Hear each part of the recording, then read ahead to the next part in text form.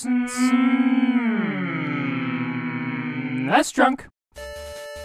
Action RPGs and adventure games were still finding their footing on the NES. There were some bumps in the road with Castlevania II Simon's Quest, which is filled with absurd cryptic nonsense, and Zelda 2, which is a great game hampered by some flaws that are major deal breakers for a lot of people, like the lack of checkpoints and the crazy difficulty. By the time the 80s were heading to a close, these kinds of games were starting to get a bit more polished, starting with stuff like Faxanadu and Battle of Olympus, which is a nice combination of the best parts of Castlevania 2 and Zelda 2. It looks and plays a lot like the latter, but it has a structure that's closer to the former because there's no overworld here. You just move from place to place by continuing on to the left or right, up or down, or by heading through doors here and there. That's right, it's the rare NES game that's non-linear. You can wander around anywhere, although I will say you'll know pretty quickly when you've arrived at a place you're not supposed to be because you'll run into a horde of overpowered enemies, and even if you manage to survive and get past them, you'll find you'll need some kind of item to unlock the next area. Or in some cases, you'll get unlucky and run into a boss fight and get destroyed in like 5 seconds. So, you gotta backtrack and talk to everyone until you're pointed in the right direction to the shield or the spell or item or whatever you need to get to the next area.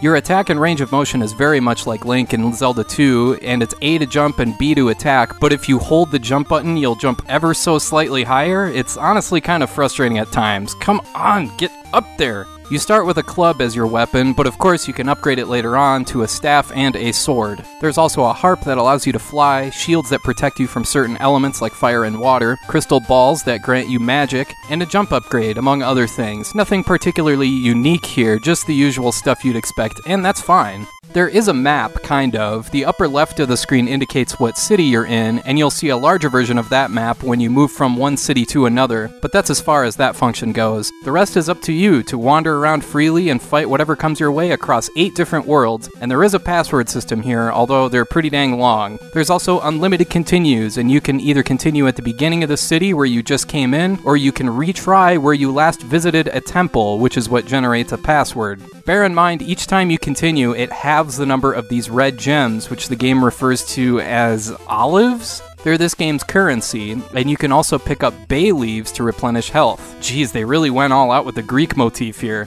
And yeah, as you might expect, the story is full on Greek mythology, although not totally accurate and true to the source material, but who cares? You play as Orpheus, and you have to rescue your lady friend who's been kidnapped by Hades, and you run into other Greek mythology staples along the way, from Athena to Zeus. Normally, with a game like this, especially for the time, you're left at the mercy of the villagers telling you what to do and where to go. Going into this one, I was expecting the worst. But surprise, surprise, the dialogue here is actually useful sometimes, unlike some other NES adventure games. It's not always totally direct, but still, it's definitely functional. There is some wonky stuff here and there, like needing to collect salamander skins to buy something from the Witch of Crete Island since she won't accept olives. Man, what a weird sentence that is. What I found odd about researching this game is that there's hardly a word of it in Nintendo Power. There's just a one page preview in early 1990 before the game came out, and that's it. And this is despite the game showing up on their top 30 list for months afterward. Heck, even the manual just tells you the controls, what the items are, and who the people are from Greek mythology, and that's the end of it. I just find that interesting, since despite the similarities to Zelda 2 and Castlevania 2, I can definitely see people needing help progressing with this one, especially back then.